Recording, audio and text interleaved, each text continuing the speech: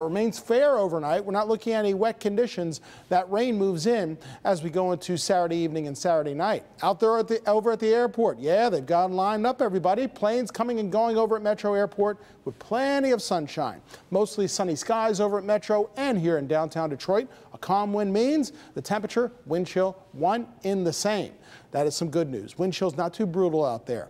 Now we do spring forward one hour tomorrow night into Sunday morning. We move those clocks ahead one hour before uh, we wake up on Sunday. Also a good idea, change all the batteries in your detectors. Smoke alarms, carbon monoxide detectors. Make sure any time sensitive devices are changed as well. Sunrise and sunset on your Sunday moves ahead just about one hour. Sunrise will be just before 8 a.m. Sunset after 7.30 and both, well, sunset that is, still getting later and later. We're looking at 35 degrees right now for our friends over in Oxford, a chilly uh, 38 over in Pinckney, but just around 40 degrees over at City Airport. 49 right now in Chicago. You see these 40s down here to our south and west?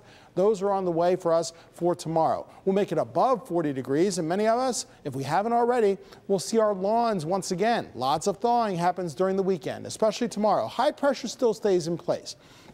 That means we'll see dry conditions for the rest of your evening commute. If you have any dinner plans, going out to see a show or a movie or all three, things are looking good. Same thing with your late night plans. We'll wake up to some sunshine on Saturday morning, but notice we have clouds and look at all this. All this yellow and green right here, some red. That is rain that is building to our south and west during the day on Saturday.